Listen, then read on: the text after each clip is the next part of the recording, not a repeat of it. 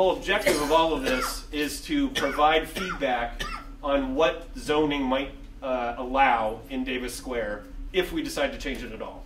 On Wednesday, November 1st, a community meeting was held at First Church Somerville to present potential redevelopment projects in Davis Square. So, all of the work that we're doing is answering the question what if?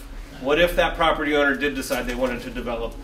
This is our opportunity to try and understand what we might find acceptable on that lot if it is ever developed in the future. And this could be two years from now, it could be a hundred years from now. But this is our opportunity to look into the future and try to figure out what, what we might like to see if something ever happened. The committee offered several factors which may affect the benefit and appearance of each property in the case of redevelopment. It's proximity to the T and the, the amount of square footage you can get from the new building versus the existing building and its assessed value are two measures of value from the city standpoint and from the, the property owner standpoint to make a decision about what might be redeveloped. From these criteria, the community was able to assess the value of each potential project.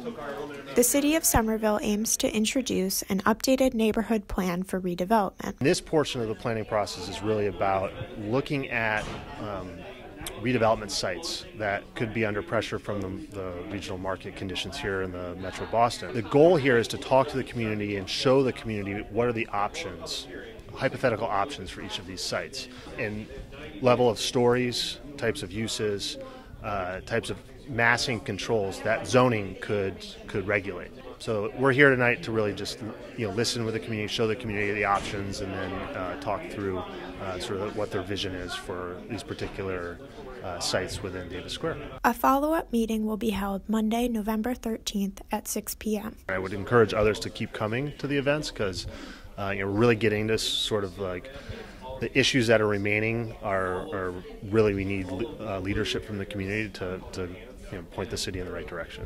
For Somerville Neighborhood News, I'm Kelly O'Donnell.